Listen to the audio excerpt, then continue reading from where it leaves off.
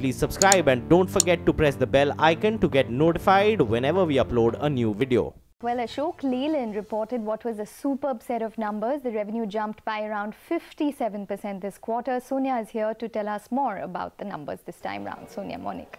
Hi, morning. Yes, it's been a stellar set of numbers for Ashok Leyland. Almost a 60% jump, as you rightly pointed out, in the revenues this time around, coming in at 7,100 odd crores. We were expecting this, you know, because the volumes were so strong this quarter. More than a 40% jump is what we saw in volumes.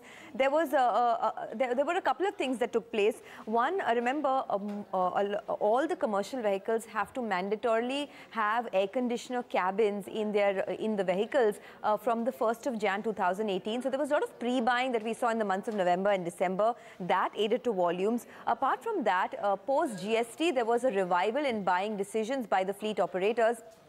Put together, this boosted the overall volumes. In fact, we did see, you know, the MHCV volumes go up by 41%, LCV volumes went up by 45 odd percent, and the product mix has been very good. So the realizations were also very strong this time, going up by 11% on a year-on-year -year basis and double-digit margins for the company. The company in the past has said that, you know, we might not be able to hold on to these double-digit margins because of raw material pressures, but the entire sector is facing that. X of that, these numbers are looking very good.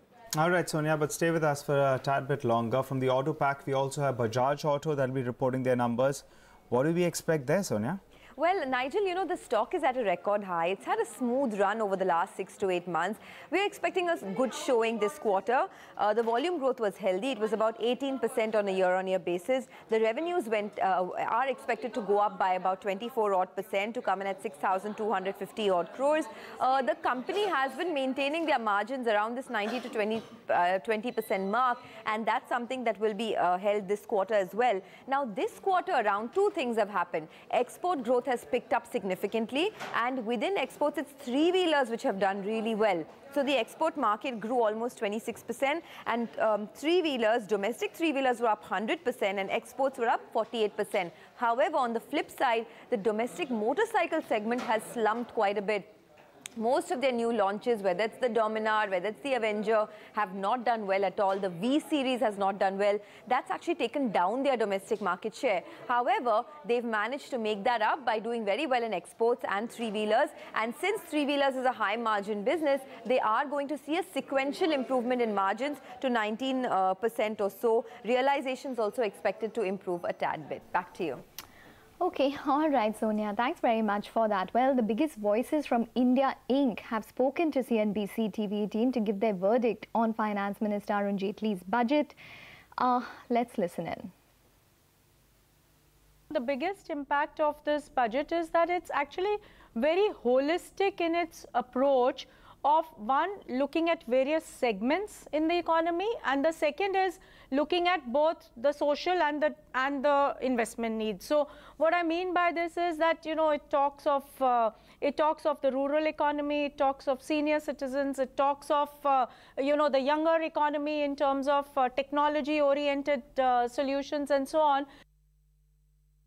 what he has done he had to do. Particularly everyone expected and it was known that emphasis will be on the rural economy emphasis will be on the on the farmers health education infrastructure. I don't think uh, it's not a slippage. I would say it is maintaining the 3.5 fiscal deficit as last year. It, it is not worsened. And uh, he did say that the economic reforms are rewarding but very challenging It's because of these challenging, the major structural reforms they have undertaken, some of this fiscal deficit may not have been uh, may not have been achieved. I think 8 to 10,000 crores is a fair estimate of the premium that will be required to cover 100 families. You cannot have inclusive economic development without health coverage and this universal health care is welcome news, long overdue, and I'm really, really pleased that the government has finally made this bold move. Make in India was somewhat uh, hidden uh, inside many things. and there is uh, quite a bit about Make in India uh, in this budget. There is uh, uh, allocation for National Manufacturing Competitive Council. there is things on jobs and skill development. There is things on smart city, IT and electronics, uh, hardware development. So a lot of things are built in uh, for Make in India, though there's nothing which is large by itself that's going to make a huge difference immediately. But generally positive direction for Make in India. If well implemented, these policies could help both consumer products demand growth and agri products demand growth. So we see benefits for companies like Godrej Consumer Products, for Godrej Agrovet, and I think they're good provisions, but they must be implemented well. Well, uh, let's shift focus to the metal space now. We have Novelis, which reported its earnings already. Uh, Nigel, what are the highlights? And uh, Hindalco would be in focus as well. Absolutely. Let's start off with Novelis because they came out with a set of numbers and the numbers look quite good. Remember, the last few quarters it's been improving, and this quarter as well, no difference. So, top line, we had a growth of around 33%, looked pretty good. 300, uh, around $3 billion approximately. The shipments, that came in higher by around 6%. But important to note that both South America as well as North America, there we had a bit of a volume growth. And in addition to that, you had higher volumes coming in from the auto space. Remember, in fact, that's been the big focus uh, area. So we had, um, you know, the auto shipments that jumped up by around 12%. The facility in China that ramped up, and that's what will help the overall profitability. And that's perfectly replicated because the EBITDA per ton. Oh, there, in fact, that uh, did come in higher by close to around 13% uh, approximately. That came in at around $377 uh, uh, per ton. Why is that? You know, benefits from operating leverage, better operating efficiencies did play out. And finally, the price to cost spread now that's moved up to around $550 per ton, and that definitely helps their cause.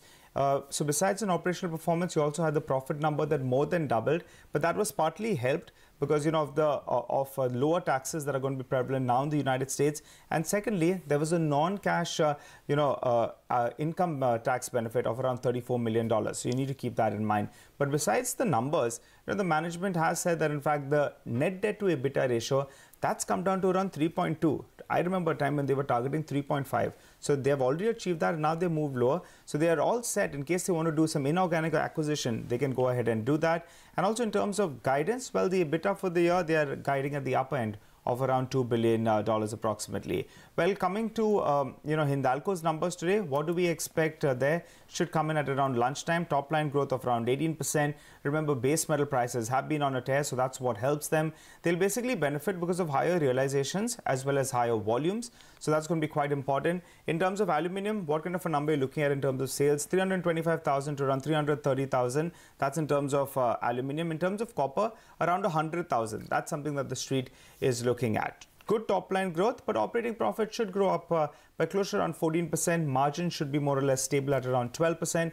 What influences that? higher input costs. That's point number one. Coal costs have gone up, carbon costs as well have gone up. But what doesn't help them is that they have, uh, you know, uh, alumina prices that have spiked up as well, Ekta.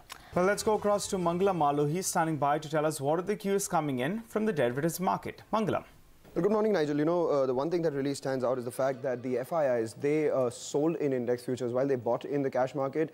And after budget, we've been talking about the volatility index rising. So after budget yesterday, post the event was off, the India VIX, that one should come up for you, was down by about 11%, telling you that the IVs have come off on both the call side as well as the put side. The FIs, while they added about 1100 crores in uh, in the cash markets, they pulled out some money from the index futures space. Uh, now the, the FI long exposure stands at around that 69, 70% mark as compared to 80% at the start of this series. We saw that in the Nifty futures premium also, which came off from about 27, 28 points down to 14 points, even as we recovered from the low point of the day. What really stood out was the selling in index options, close to around 750 crore worth selling in index options, while internally it could be a bit of a mishmash given yesterday was also Nifty Bank weekly options expiry.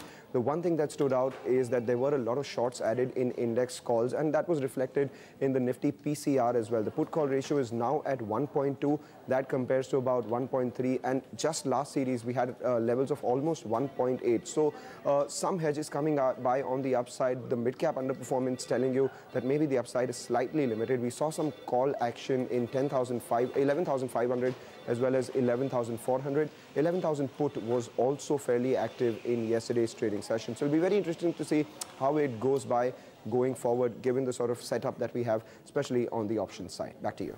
Okay, all right, Mangalam. Thanks very much for that. Well, with the fiscal shortfall, shortfall for FY19 pegged at around 3.3% from an estimated 3.5% for the current period. Ravi Bhatia of S&P Rating Services believes that even though they expected some fiscal slippage, they did not expect it to be so significant. We know that this is an, uh, an a pre-election uh, budget, um, so we sort of expected some uh, fiscal slippage. Um, so we've kind of factored that into our overall uh, uh, uh, analysis on, on India. Um, but you know, it, it's still a concern that they that there was quite a significant fiscal slippage, and the question is also what this will indicate to the states, because you know we look at the fiscal deficit on a consolidated basis uh, with the states as well. Um, so going into the uh, in the in the year before the election, uh, the combined uh, deficit. So that was a bit of a concern. We're entering into a new environment with higher oil prices. Um, you know, and India being a, a net oil importer, whether that uh, is going to have an impact on growth. Uh, and also, you know, we've just come out of this rather poor growth year. Um, so the question is, will the rebound happen? It's not entirely clear. Uh, the GST uh, is still, there teething problems around that. They continue. Um, so it's really not entirely clear whether they can uh, meet their revenue targets as well.